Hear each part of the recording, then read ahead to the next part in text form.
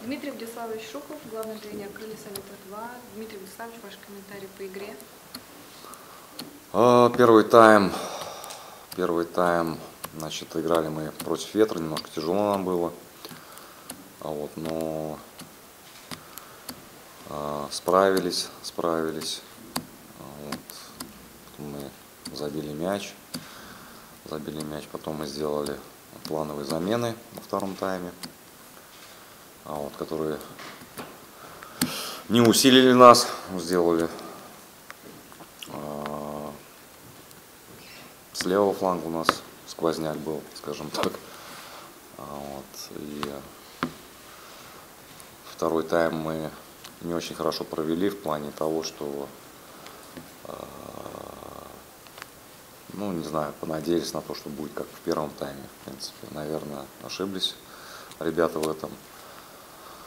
А, Пропустили, могли еще пропустить. Вот, опорная зона у нас проседала. Вот. А, Еще раз повторю, те замены, которые мы сделали, они плановые были, но они не усилили, потому что у нас часть игроков занималась в первой команде. А вот. У нас на этой неделе вообще ну, девятером, десятером, по-моему, мы готовились к этой игре. А Вот, ну, немножко тяжеловато, конечно, так. Вот, но это часть нашей работы, поэтому как вот получилось, так и получилось. То есть, все равно молодцы ребята. За сезон я их говорил сейчас.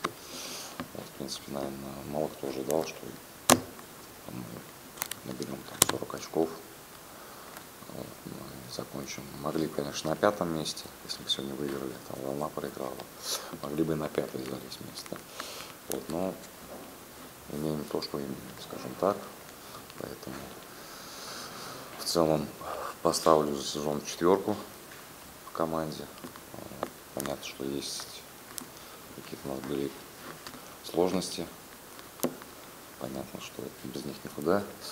Вот, но все-таки ребят молодцы. Краткие итоги вы уже подвели сезон. А какие дальнейшие планы у команды? Дальнейшие планы у нас сейчас два игрока э, усилят э, молодежную команду. Молодежная команда даже не два, а чуть больше. А, которая осталась там три игры сыграть.